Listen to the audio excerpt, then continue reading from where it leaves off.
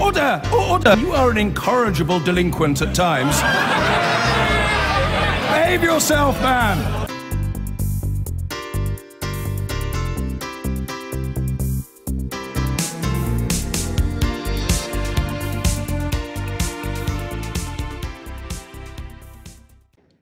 Now, two leading human rights lawyers face a tribunal next week over false claims against British soldiers during the Iraq War. Martin Day and Sapna Malik risk being struck off by the Solicitors Disciplinary Tribunal if they're found guilty of 19 charges alleging misconduct, which they deny. They and their firm claim the regulators may have been lent on by the Ministry of Defence, who accused them of perpetrating an industrial scale of claims. Here's our senior Home Affairs correspondent, Simon Israel.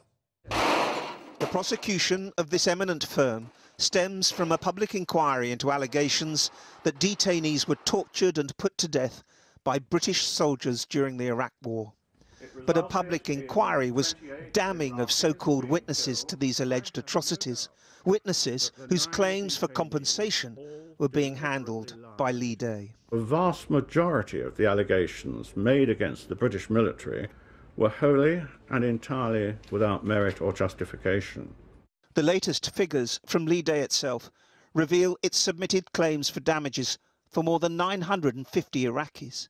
320 cases have been settled, 35 dropped, and 600 remain, while 22 million pounds has been paid out in compensation by the MOD.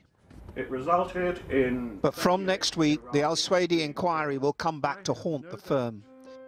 We take on cases against the largest multinationals in our country. It will face prosecution by the legal profession's own regulators. There are 19 charges alleging misconduct, all denied. One alleges improper conduct at this 2008 press conference, where Martin Day outlined the case against the MOD. There have been too many instances in the past where there has been conspiracies by the British Army, by British soldiers, to cover up terrible deeds in Iraq.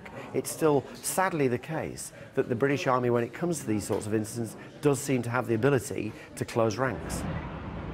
A recent select committee inquiry blamed not just the law firms, but the MOD itself for generating the cases with little supporting evidence. If soldiers have done anything wrong, then fine, they should be investigated. The soldiers are subject to law, same as anybody else. But we don't need these lawyers set up earning enormous amounts of money to try and do the job that the government and the, and the Public Prosecution Service ought to be doing. Martin Day and his firm have gained a reputation for class actions on an international scale.